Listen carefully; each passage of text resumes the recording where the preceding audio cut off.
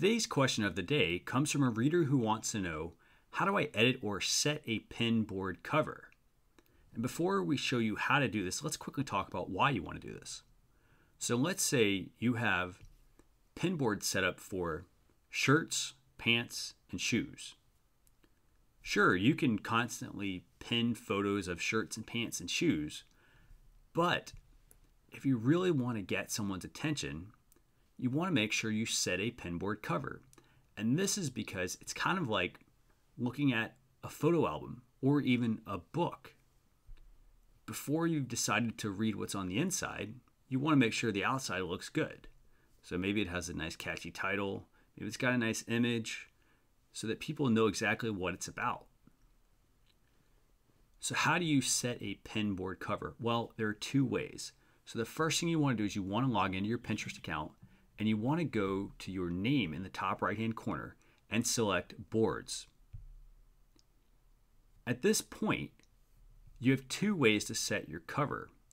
One is to simply hover over a pin board and select Edit Board Cover.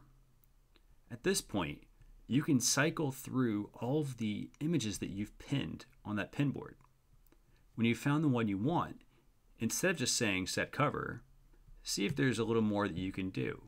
In this case, I can actually drag this image and make this cover look a lot nicer than it was. So the second way to set a pinboard cover is to click into your pinboard. At this point, you're going to see all of the images that you've pinned on that board. If you want to set a cover, all you need to do is hover over the item and select Set Board Cover. It's going to bring up the same exact menu that you had before. And you can go in and you can cycle through the photos and you can adjust the positioning.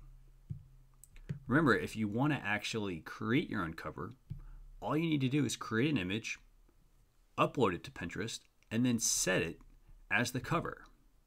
So that's it, guys. That's how to set board covers on Pinterest.